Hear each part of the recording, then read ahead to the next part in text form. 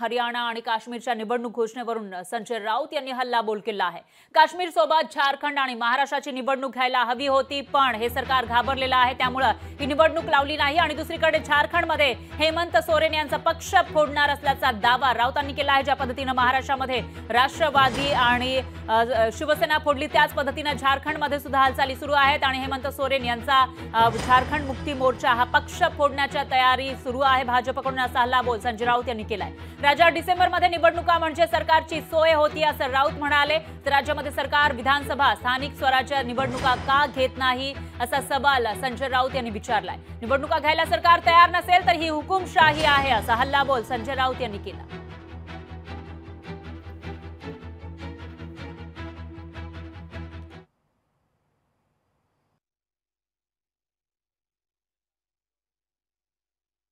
झारखंड आणि महाराष्ट्र. या निवडणुका सुद्धा हरियाणा बरोबर व्हायला हरकत नव्हत्या. पण झारखंडची निवडणूक यासाठी पुढे गेली.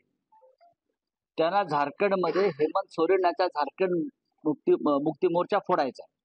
महाराष्ट्रामध्ये अशाच राजकीय कारणासाठी या राज्याच्या निवडणुका घेत नाही.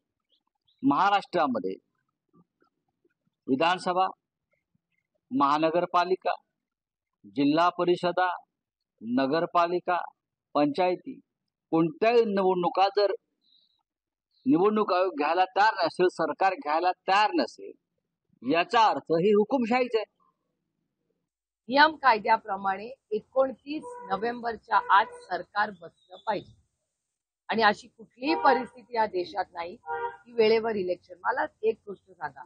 ते काय म्हणाले की जम्मू काश्मीर आणि हरियाणामध्ये इलेक्शन घेतोय म्हणून आमच्याकडे फोर्स नाही. जम्मू काश्मीरमध्ये लोकसभेचं इलेक्शन देशाबरोबर घ्यायला यांच्याकडे फोर्स होता. पण विधानसभा गेला यांच्याकडे फोर्स नाही हास्यास्पद आहे. आणि हरियाणामध्ये पण ऐंशी आमदारांचं ते राज्य आहे.